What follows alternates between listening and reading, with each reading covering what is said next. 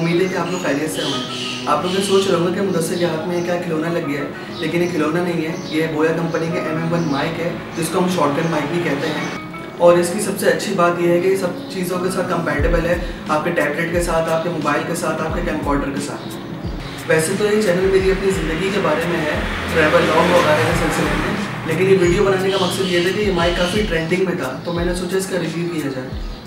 ये बोया का माइक है, जो आपको तीन हज़ार से पैंतीस सौ की रेंज में मिल जाएगा। और इसके बॉक्स के बैग पे लिखा हुआ है कि कंपैटिबल है स्मार्टफ़ोन के साथ टैबलेट के साथ डीएसएलआर के साथ और कैमकॉर्डर्स वगैरह के साथ। और जो भी ऑडियो की जो चीज़ें होती हैं, उन सब के साथ कंपैटिबल है। काफ़ी लाइट वेट है और मेटल डिज़ाइन है।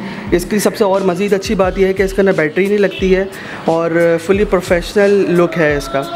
और जो टोटल इसका जो है, वो वेट है, वो 86 ग्राम्स है।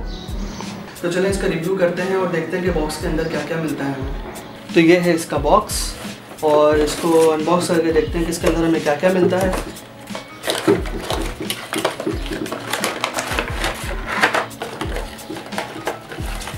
ये कुछ यूज़र मैनुअल्स हैं इसकी। ये आ गया आपका माइक इसके साथ डेड कट आती है, जो नॉइज़ कैंसिलेशन के लिए भी यूज़ होती है। ये आपका माइक आ गया। मेटल क्वालिटी का, काफ़ी अच्छी क्वालिटी का माइक है। और इसके साथ दो केबल्स आती हैं। एक जो है वो डीएसएलआर के लिए यूज़ होती है, ये वाली जो है वो डीएसएलआर के लिए यूज़ होती है और दूसरी जो है वो सेलफोन के लिए यूज़ होती है। इसके अंदर यहाँ पे इंडिकेशन दी हुई है माइक्रोफोन और स्मार्टफ़ोन का यहाँ टैग लगा हुआ है। तो इन दोनों में आप डिफ्रेंशिएट कर सकते हैं कि कौन सी केबल जो है डीएसएलआर की है और कौन सी जो है वो सेलफोन की है। इसके साथ ही साथ, इसके साथ इसका लेदर पाउच आता है और बस यही इसके साथ आता है। और ये जो है इसका माइक है, काफ़ी अच्छी क्वालिटी का है। बोया ब्रांडिंग हुई हुई है इस पर ये बोया की ब्रांडिंग है।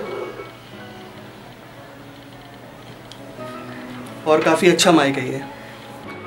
ये जो फुटेज आप देख रहे हैं, ये विदाउट माइक है। अभी मैंने अपना माइक जो है वो कैमरे पे माउंट नहीं किया।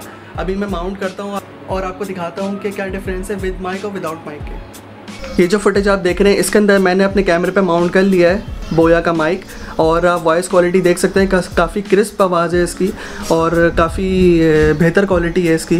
तो आप जो है डिफ्रेंशिएट कर सकते हैं कि ये माइक कैसा है। मैंने ये माइक यूज़ किया और काफ़ी इसकी बिल्ड क्वालिटी बहुत अच्छी है। ये माइक काफ़ी अच्छा है यूज़र फ्रेंडली है, और मैं आपको वीडियो के एंड में बताना चाहूँगा कि ये कोई स्पॉन्सर वीडियो नहीं है। ये मैंने अपनी खुशी के लिए बनाई थी, ताकि आने वाले यूट्यूबर्स जो है मेरी इस वीडियो से कुछ हेल्प हासिल कर सकें। मुझे इस माइक का रिव्यू करके बहुत अच्छा लगा और उम्मीद करता हूँ कि आपको ये वीडियो पसंद आई होगी। अगर वीडियो पसंद आई है तो लाइक कर दें और सब्सक्राइब कर दीजिए नीचे जाके। तो इंशाल्लाह मैं मिलता हूँ आपसे किसी नेक्स्ट वीडियो में। तब तक के लिए अल्लाह हाफ़